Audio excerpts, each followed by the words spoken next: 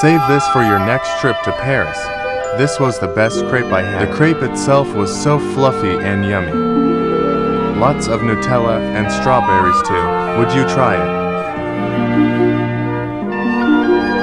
Seven pastries you need to try at a boulangerie in Paris. Number one, pain au chocolat. This classic pastry is almost identical to a croissant with one or two pieces of dark chocolate in the center. Number two, escargot. Often eaten for breakfast, this snail-shaped pastry has the perfect balance of butter and sugar. Number three, la tradition chocolat. These chocolate parcels are crispy on the outside and topped with pieces of crystal sugar. Number four, croissant au almond. This French delight is stuffed with almond flour and topped with slivers of almond. Number five, viennoise au chocolat. This enriched slightly sweet French bread is packed with chocolate chips. Number six, Kouign-amann. Originating in Breton, these little cakes are layered with butter and sugar. And number seven, pain au praline. Similar to a pain au chocolat, these pastries are stuffed with pralines and lined with chocolate lattice. Which one are you most excited to try?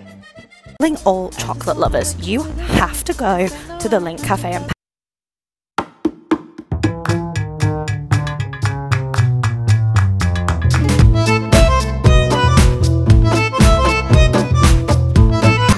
bars had different toppings. I've never seen this at Lindt before. They had giant bears and they were so well priced and the most delicious chocolate spreads I've ever seen. Sorry, look how big this place is. Hampers were incredible. I had loads of Parisian specials. Just grab a bag and fill it up. Look how cute these little teddy bear ones were. Great for gifts because they do specialized Champs-Elysees boxes of chocolate. And they have a cafe inside as well. This is a famous dessert. Everyone talks about this. Look at that chocolate ball. Or you can do what I did and go in for a shot of milk chocolate and then drink it in the sunshine. This is from Saveur and Co.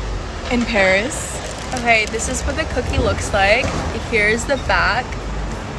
Um, yeah, it looks really good. It feels really soft. I'm gonna split this in half. Okay. Here, it's very like it looks very doughy, which is not my usual Oh, style. I thought it was gonna be like crispier. I don't No. know because this looks like it looks like nicely dipped on the bottom. Okay. It's more cakey than like it's like the type that's flat. Wait, have you tried yet? No, I haven't. okay. Okay, wait, I want another bite. Okay. wait, yeah. Okay, I want one with the crust though. I want like a good chocolate bite.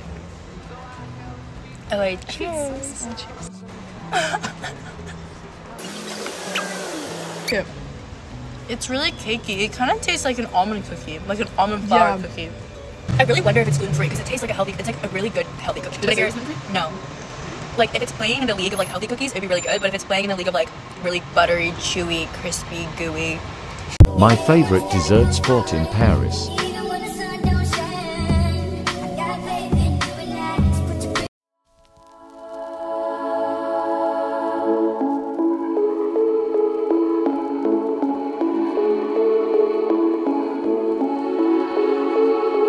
Did I the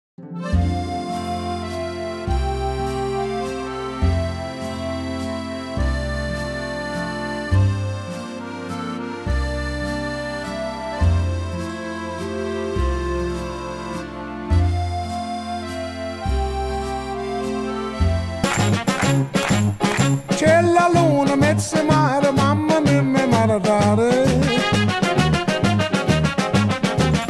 Figli mia, cutterare, mamma mia, pensaccia tu. Sitte d'ogni pisciaolo, i te va, i te viene sempre baccalare del mano bene. Se ci picchia fantasia, baccalare, figli mia.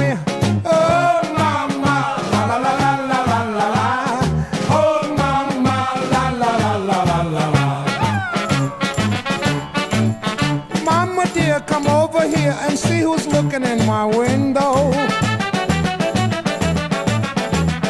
It's the baker boy. So if you're going to Paris anytime soon, these are some of my favorite bakeries that you have to try. So from Gourmet, you have to get the croissants and you have to get the vanilla slice. Next, head over to Stohrer and get the chocolate eclair. It was amazing. And then we have Mamiche. Everything I tried here was amazing, but definitely get the orange blossom brioche. Everything we ate at Disneyland Paris. Cake Pop Plus Cookie 8 tenths very moist.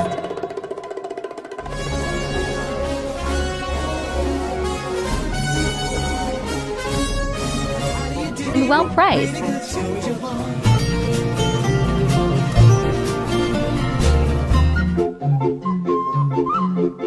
Peanut butter plus brownie ice cream 9 tenths amazing, but very long queue. Apricot 10 tenths big serving and tasty AF. Popcorn 11 tenths best popcorn I've ever had.